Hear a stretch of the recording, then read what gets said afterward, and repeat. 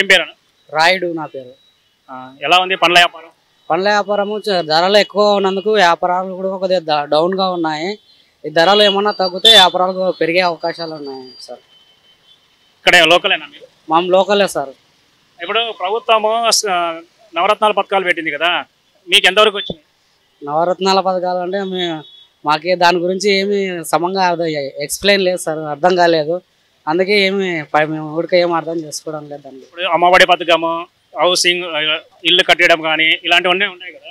అవు సార్ ఉన్నాయి కానీ చా ఇల్లు కట్టడం వరకు చాలా బాగానే ఉంది సార్. ప్రాసెస్ వల్ల కొంతమందికి ఇల్లు రావడం లేదు. అంత మా పేదలు చాలా ఇబ్బందులుగా పడుతున్నారు సార్ చాలా ఇల్లు రాకపోవడం వల్ల. అంటే ఇప్పుడు రుణాలు కూడా ఇస్తున్నారు కదా ఆసరా అంట తర్వాత పొదుపు మహిళలకి ఇవన్నీ. ఇవన్నీ ఇంకా రాలేదు సార్. కొంతమందికి కొంతమందికి వస్తున్నాయి. కొంతమందికి రావడం లేదు. వ్యాపారాలకు కూడా కొద్దిగా బ్యాంకుల నుంచి అమౌంట్ ఇస్తున్నారు కదా? వ్యాపారాలు అమౌంట్ ఇస్తున్నారు కానీ కానీ వడ్డీ కట్టుకోలేకపోతున్నాం సార్. వ్యాపారాలు లేనందువల్ల వడ్డీలు కట్టుకొని వ్యాపారాలు రుణాలు తీసుకోలేకపోతున్నాము.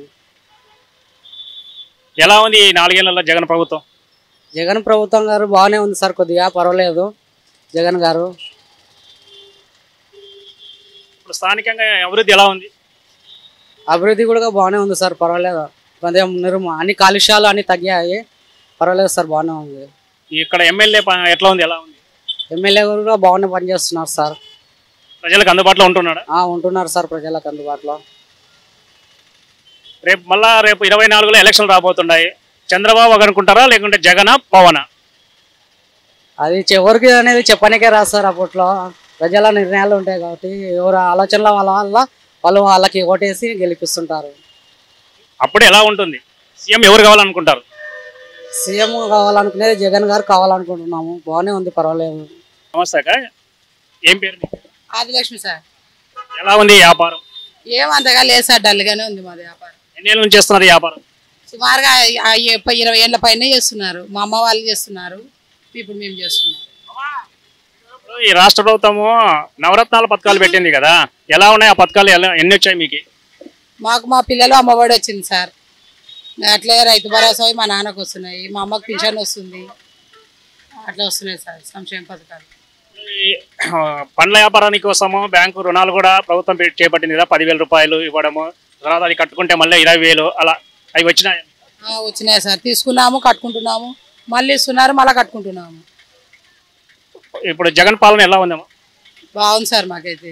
బాగుంది నెక్స్ట్ గవర్నమెంట్ వైసీపీనా టీడీపీనా? వైసీపీనే సార్. ఇండ్లు ఇచ్చారు కదా అవి వచ్చాయి? ఓ సార్ వచ్చినాయి సార్. వచ్చినాయి. ఎట్లుంది ఏమో ఇక్కడ ఎమ్మెల్యే పరిస్థితి ఎలా ఉంది? ఇక్కడ నాది డోన్ సార్ ఎమ్మెల్యే ఆయన గురించి నాకు అంతగా తెలియదు. వాళ్ళైతే తెలుసు లోకల్గా. నాది లోకల్ కాదు కదా సార్. ఈ పొదుపు దానిలో మీకు రుణాలు వచ్చినాయేమో ఆ, వచ్చినాయి సార్.